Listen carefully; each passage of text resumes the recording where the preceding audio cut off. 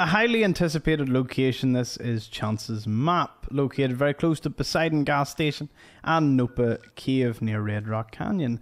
It's a really interesting one. Now, there was a novel written before Fallout New Vegas' release called All Roads, and uh, Chance, the one who made this and goes on to die in the comics, he he uh, spent a good bit of time perfecting this. Now, what do all the symbols mean? Let me take you through them. The one at the bottom left corner, that represents the Mojave Outpost and the two statues that stand beside it. Moving to the right, you can find some bullet casings that may be a little hard to see, but there they are there, representing Nipton. Going across again, we can find another tin can, likely representing uh, Camp Searchlight.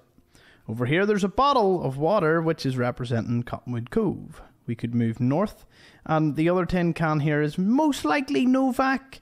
To the west is probably the REPCONN site. The dynamite is the NCR Correctional Facility. North of that is a claw representing Quarry Junction. And then the tin can and the rock is likely representing Red Rock Canyon, and the tin's either Goodsprings or just the Water Tower.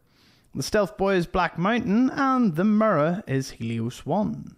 Moving across, the whiskey bottle is Hoover Dam. The wee I think this is one of the Legion coins, if I'm not mistaken. It is indeed, representing obviously the fort.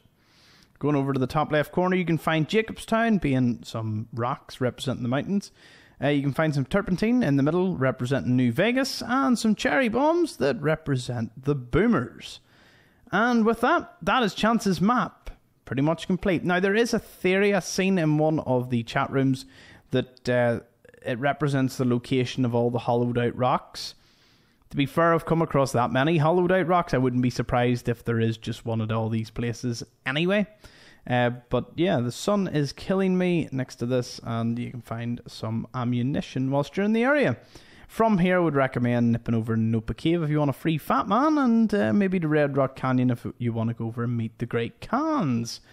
And that's pretty much Chance's map. Let me know what you think in the comment section below. Did you know what they all stood for? Was I wrong with any of them? Do you have a, do you disagree? Do you agree? What do you think? Let me know in the comments section. Be sure to drop a like if you enjoyed the video and be sure to subscribe if you want to see more content like this. There's always a link to the playlist Fallout New Vegas Explored in the description.